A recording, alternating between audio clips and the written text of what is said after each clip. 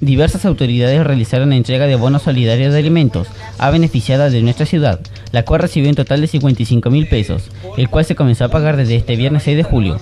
La beneficiada, Marita Navarro, se mostró muy agradecida y alegre con la recepción en su casa de las autoridades presentes.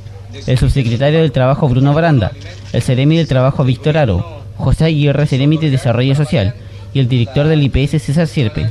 La señora Marita además añadió ha sido cierto una para mí ha sido un, un agrado lo recibido no, no pensé y me siento totalmente apoyada pues. Y más que nada porque haya sido él personalmente que me lo haya entregado en mi casa. El subsecretario de Trabajo Bruno Baranda señaló además.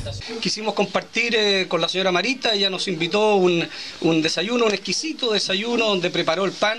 Eh, colaboramos nosotros también eh, con las partitas como decíamos pero lo central y lo básico es eh, simbolizar este espíritu de de cariño, de respeto por la dignidad de la familia, la dignidad de las personas, el valor y la preocupación que el presidente Sebastián Piñera y su gobierno tienen respecto de las personas con eh, mayor vulnerabilidad o de clase media que están eh, frente a necesidades o angustias que precisamente bonos como este queremos eh, colaborar a paliar.